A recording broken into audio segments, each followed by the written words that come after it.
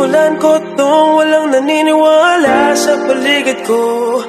Eh ano? Eh ano? Susunod